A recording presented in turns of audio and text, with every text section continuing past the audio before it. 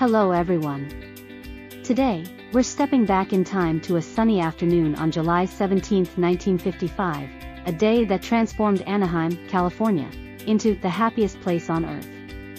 Yes, the day Disneyland opened its magical doors to the world. When Walt Disney decided to create Disneyland, he envisaged a place where adults and children could have fun together.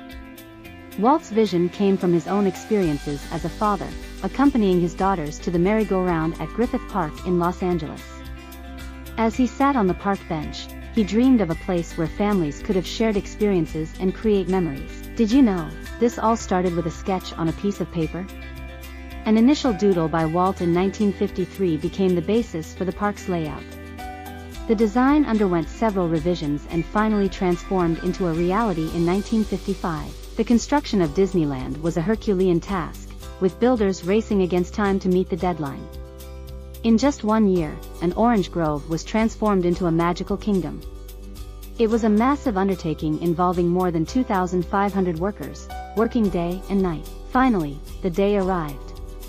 July 17, 1955, the official opening day, which was also known as the Black Sunday, due to the numerous mishaps.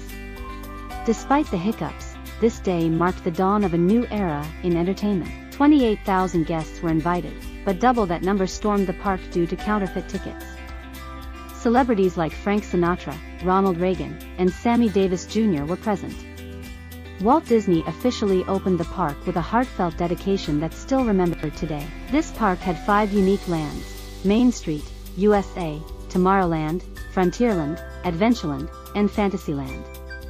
Each land was a blend of history, adventure, and fantasy, offering visitors an immersive experience unlike any other. From classic attractions like the Jungle Cruise in Adventureland, the Mark Twain Riverboat in Frontierland, to the Mad Tea Party in Fantasyland, Disneyland offered experiences that captivated both children and adults alike.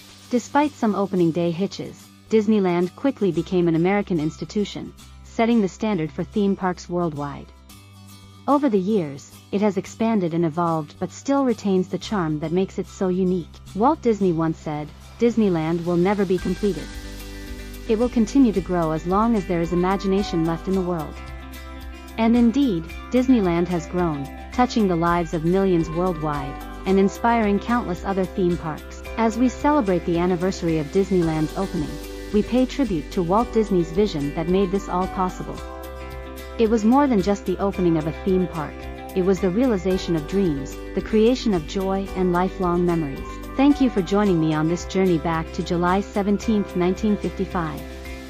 If you enjoyed this journey through history and want to discover more fascinating events every day, don't forget to hit the like button and subscribe to our channel. Until next time, keep the magic alive.